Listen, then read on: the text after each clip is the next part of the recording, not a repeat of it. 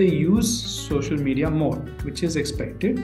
But they also seek financial advice on social media, both from brands as well as influencers.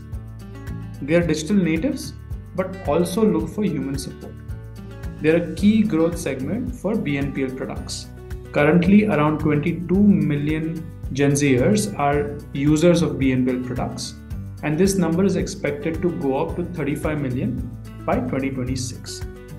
And they're also willing to pay for premium products and services.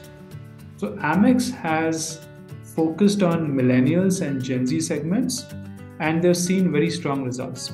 So, they have been the drivers for growth for Amex cards over the last few quarters.